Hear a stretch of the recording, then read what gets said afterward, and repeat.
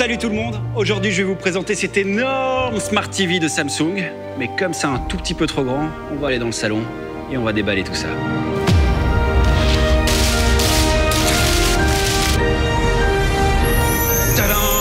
Et voilà la Samsung Smart Télé 50 pouces. Ça fait environ 127 cm de diagonale.